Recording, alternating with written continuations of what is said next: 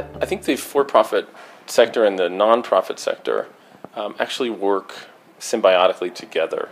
Um, using different funding streams in the nonprofit sector, they're able to stay ahead of the curve and carve out new market opportunities that assist and help the for-profit sector as well.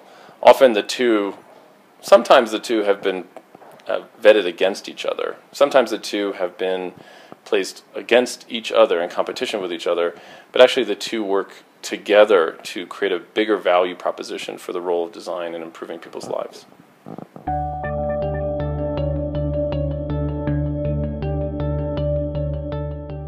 Um, for us at Mass Design Group, we've learned that design is really about the creation of dignity. And what that means to not just the architect, but to the community, to the people that use the building, uh, to the people that build the building, is that there is this transcendent ripple effect into the built environment and everyone who builds the built environment that could potentially be dangerous or could actually create great dignity, be very powerful. We often say that design is never neutral. It either helps people or it hurts people. And so I think we as architects have a great responsibility to, as much as we can, venture towards uh, design helping people at every stage of the process. And a big piece of that is in the creation of dignity.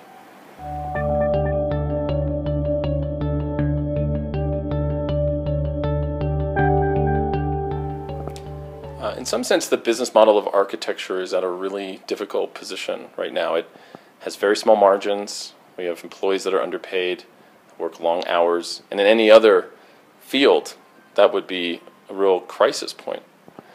We tend to embrace it as a badge of kind of courage and pride that we work harder and get paid less because we care more.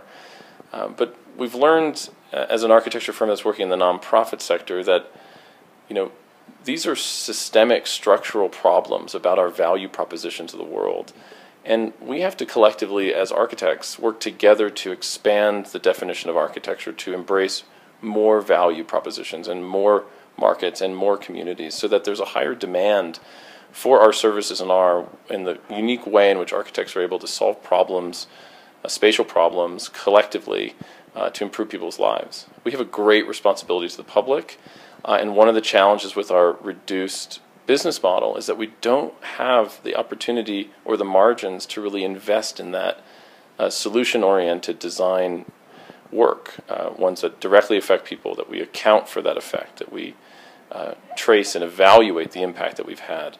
Um, sometimes we just hand over the keys and then say off to the next project. We have to engage in a much deeper way. And uh, one way to do that is by expanding the business model, creating more demand for architecture, uh, and partnering nonprofits with for-profits in a really direct way so that we can pioneer new markets where we didn't see the value of design uh, evident before.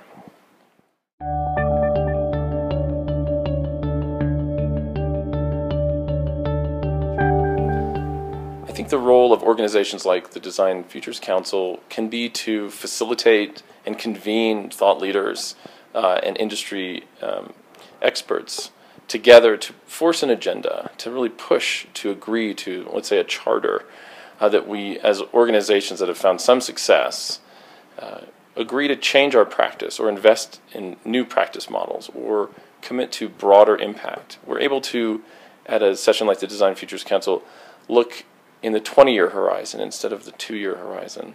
And that's something that we as designers often don't get the chance to do. And I think it's a really important role to be played uh, to affect the industry as a whole, and something I hope the Design Futures Council continues to do. You can also, uh, at the Design Futures Council, bring in young leaders. Um, I was an emerging leader, and that was very influential to me uh, to be able to meet other people in the field and uh, pollinate the discipline uh, with diversity, with new thinking, as well as challenging, provocative questions. Uh, that force the industry to change. It's very slow to change, but force it to change in a more rapid way. Beautiful.